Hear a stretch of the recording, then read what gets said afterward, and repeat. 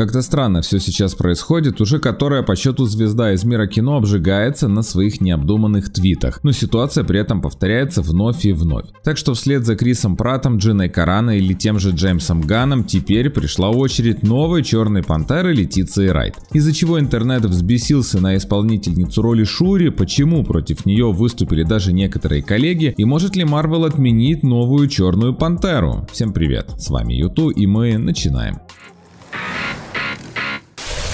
Итак, с чего же все началось? А началось все с того, что Летиция Райт разместила в своем твиттере ссылку на некое конспирологическое видео из Ютуба, где людей призывают не вакцинироваться от COVID-19. Поскольку Райт не добавила никаких собственных комментариев, публика решила, что актриса полностью согласна с мнением авторов данного ролика, после чего множество людей ринулись высказывать свое недовольство таким поведением будущей Черной Пантеры. Недовольство очень быстро переросло в настоящее негодование, а ситуация стала выходить из-под контроля. Причем, что удивительно, в этот раз коллеги из Marvel, которые отстаивали того же Криса Прата или Джеймса Гана, не высказали своей поддержки Летиции Райт, и даже более того, Дон Чидл и вовсе сперва публично выступил против актрисы, которая, увидев негатив со стороны общественности, написала, если вы не соответствуете популярным мнениям, но задаете вопросы и думаете сами, вас отменяют. После чего Дон Чидл ретвитнул пост своей коллеги, ответив на него «пока Летиция», как намек намек на мем «Пока Фелиция». Если кто не знает, то «Пока Фелиция» или «Пока Фелиша» — это популярный американский мем, основанный на фильме 1995 года, который используется при прощании с неинтересным или надоевшим тебе человеком, мимо которого даже не хочется запоминать, поэтому ты просто называешь его Фелишей. Ну, как бы все довольно очевидно, и исполнитель роли воителя очень четко дал понять, как он относится к своей коллеге. Правда, позже Чидл все-таки удалил этот первоначальный твит и написал, что он предпочитает поговорить с Летицей наедине, цитирую. Нет, если она стала трансфобной, пусть проваливает, но я лично скажу ей это, если она скажет что-нибудь безумное, не в Твиттере. Вот как я поступаю с друзьями и как я надеюсь они поступят со мной, если я облажаюсь. Здесь нужно, кстати, сделать пояснение, что во все том же злосчастном видео, которое распространила Летиция, еще и нашли какие-то там намеки на трансфобию, так что исполнительницу роли Шури сейчас обвиняют почти что во всех смертных грехах. Что это может значить для ее карьеры? Карьеры, думаю, мало чего хорошего, ведь Летиция еще не успела сделать себе громкого имени или заработать серьезный авторитет. Более того, главная роль во второй Черной Пантере досталась ей совершенно случайно по причине трагической смерти Чедвика Боузмана, так что получить такие неприятности из-за своего новичка это уж точно не то, чего хочет руководство Marvel. И вот мы уже узнаем, что у босса в студии после всего случившегося был некий очень жесткий разговор с актрисой. Чем там все закончилось мы не знаем, но знаем то, что Marvel и Disney просто не могут себе позволить такого рода черного пиара, особенно от актрисы, призванной заменить Чедвика Боузмана. Поэтому варианты сейчас называются самые разные, от простого покаяния Летиции Райт до ее замены в роли Черной Пантеры или даже отмены фильма целиком. Правда, последний вариант кажется мне уж слишком нереальным, а вот что касается увольнения Летиции, подобное вполне может произойти. Тем более, что с подачи Дона Чидла вряд ли на этот раз коллеги молодой звезды вступятся за нее, как это случалось ранее.